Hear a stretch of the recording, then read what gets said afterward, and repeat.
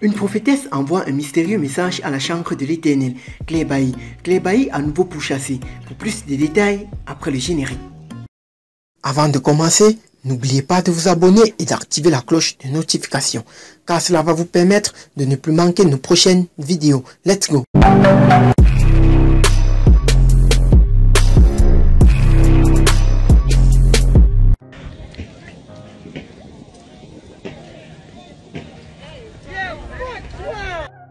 Dans une publication adressée officiellement à la désormais chantre de l'éternel, Clébaï, sur sa page officielle Facebook, la femme de Dieu Christ Tamaya a véhiculé un message mystérieux à la chantre de l'éternel Clébaï, Clébaï pour chasser. Selon la prophétesse Christamaya, la réelle place de Clébaï, c'est d'être la première dame du coupé décalé. Pour elle, Clébaï pouvait être à la fois première dame du coupé décalé et suivre le Seigneur en même temps. La chancre de l'éternel Clébaï, merci de suivre Jésus-Christ de Nazareth, mais je prophète en style de première dame du coupé décalé que maintenant. Tu dansais très bien. Je voulais même te rencontrer pour m'apprendre à taper le grand écart. Malheureusement pour moi, tu as arrêté de danser comme avant. Sachez que la musique du monde n'est pas démoniaque. Grâce au coupé décalé, tu es devenu très célèbre dans le monde entier et très riche. Remercie cette musique.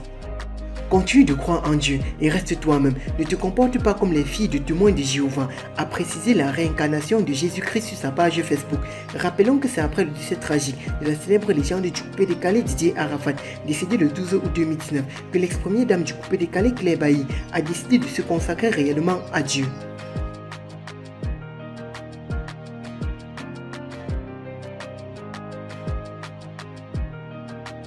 Le président Alassane Ouattara refuse un passeport ordinaire au président Laurent Gbagbo. La toile s'enflamme. Le président Alassane Ouattara semble ne pas être pour le retour de l'ancien challenge du président Laurent Gbagbo en Côte d'Ivoire avant les élections présidentielles du 31 octobre 2020.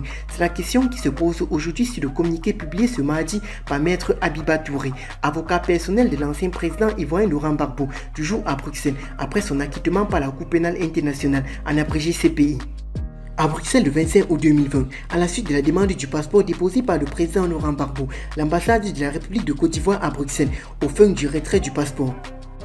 Cependant, ils nous ont été indiqués que si la demande du passeport du président Laurent Gbagbo avait bel et bien été transmise aux autorités ivoiriennes en Côte d'Ivoire, précisément au président Alassane Ouattara, nous avons donc le regret de constater que M. Alassane Ouattara refuse de faire délivrer un passeport ordinaire au président Laurent Gbagbo dans le seul but de l'empêcher de participer à l'élection présidentielle du 31 octobre 2020 et de rentrer dans son pays d'origine, la Côte d'Ivoire.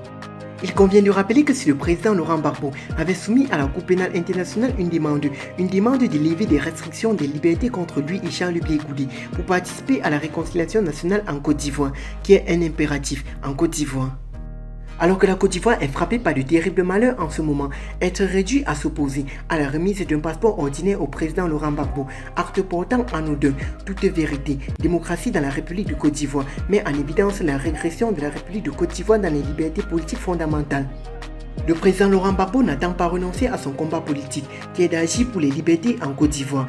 Rappelons que le président Laurent Gbagbo, depuis transmis à la Cour pénale internationale depuis 2010-2011, suite à la crise post-électorale, n'y rentrera pas pour le moment en Côte d'Ivoire. Alors chers amis, restez et connectés sur le Script Info pour la suite des informations. Et si vous êtes nouveau ou nouvelle à la chaîne, n'hésitez pas à vous abonner, surtout de partager la vidéo pour nous soutenir. A très bientôt pour de nouvelles vidéos.